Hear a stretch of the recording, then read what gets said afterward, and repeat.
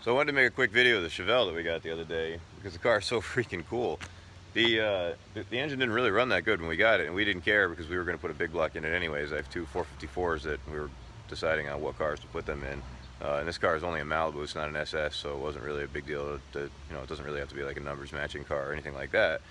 Um, but last night we were tinkering with it anyway.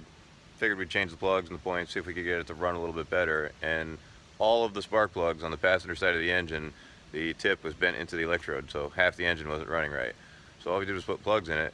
Car runs and drives like a brand new car. It's, it's amazing actually, and it's not it's not rotted hardly at all. It's got a few small holes in the floor pans. It needs both rockers, and the lower quarter on the driver's side is bad. So we're going to start on the bodywork on this car today, but I wanted to show you how well it runs. We, we drove it home. Me and Cam took it home last night. We were driving around in it. It, it blows my mind. The thing is crazy. Listen to this. Starts right up. It's such a cool car. So once we get the bodywork straightened away, we're obviously going to redo the interior. I think we're going to paint it black. Um, I have a Richmond six-speed that I've been debating on what to put in, but I'm thinking in this car it'd probably be pretty cool with a 454 and a six-speed. Some big wheels on it, painted all black, black interior, put a console in it with bench seats. This is probably going to be the one of the more desirable cars out of the group of old cars that we have right now.